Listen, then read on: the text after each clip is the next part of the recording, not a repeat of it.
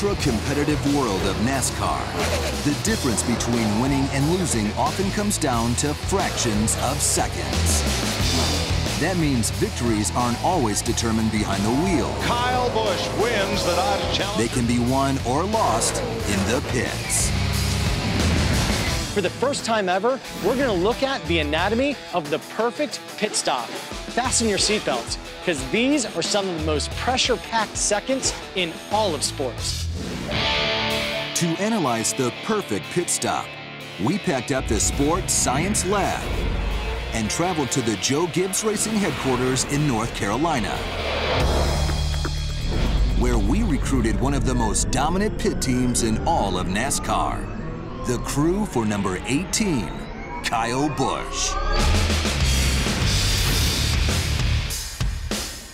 In 2008, this all-star pit crew helped Kyle set a record for most wins in a NASCAR season. Well, the pit crew is real important to winning races. You got to have a strong pit crew to be able to get you off pit road without losing spots because nowadays with this car that we have, you can't really pass that well. Nowadays, the guys in the pits aren't your average grease monkeys. They've evolved into finely tuned athletes, plucked from the ranks of elite college sports. And they prepare for races like a team in any other professional sport. And here, in the back of Joe Gibbs headquarters, Kyle Busch's seven-man team, the Jack Man, the Gas Man, the Catch Can Man, the Tire Carriers, and the Tire Changers will help us break down one of the fastest pit stops in NASCAR.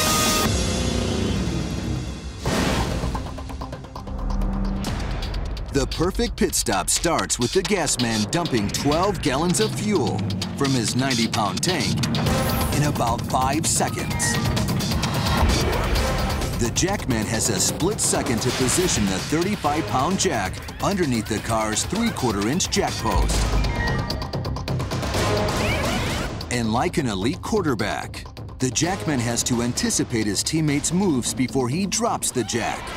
If a jackman drops the car too soon before his teammates are done, the driver can speed away with a loose tire, easily costing a race. Basically, a pit stop is choreographed chaos. It looks like, well, there's a lot of people running around.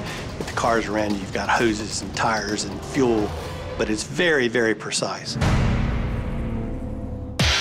While each job in a pit crew is crucial, the position with the most pressure is the tire changer.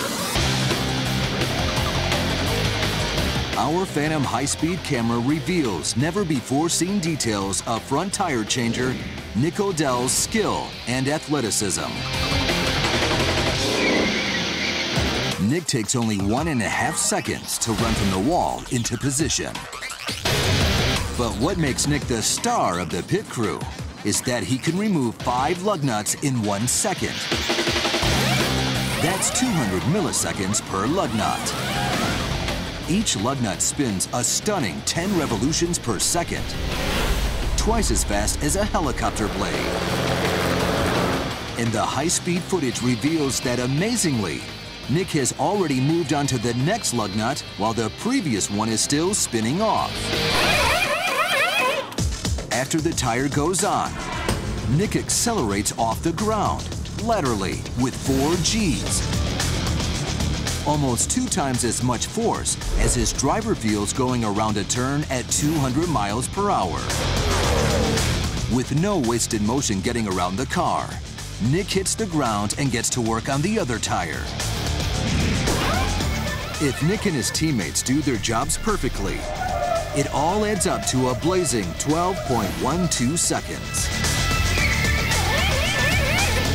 And if you break it down to its finest details, this seven-man team must execute a mind-blowing 73 unique maneuvers in less than 13 seconds.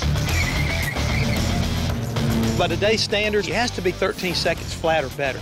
The guys who can do that eight, nine, 10 out of 10 times, they're going to wind up being the winners for the day. If you compare a pit stop to other plays in sports, like James Harrison's 100-yard interception return in the 2009 Super Bowl, a perfect pit stop is actually faster.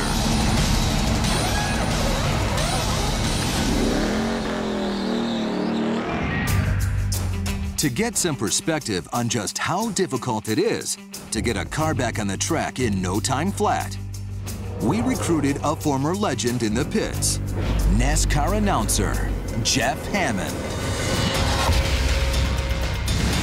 Jeff was the jackman for Cale Yarborough's three Winston Cup seasons and later won two more championships as the crew chief for Darrell Waltrip. What would happen if you were part of the team? If you'd asked me this question about 15 years ago, I'd say nothing. You know, I mean, I'm a pretty good jackman. I'm not much of a tire changer.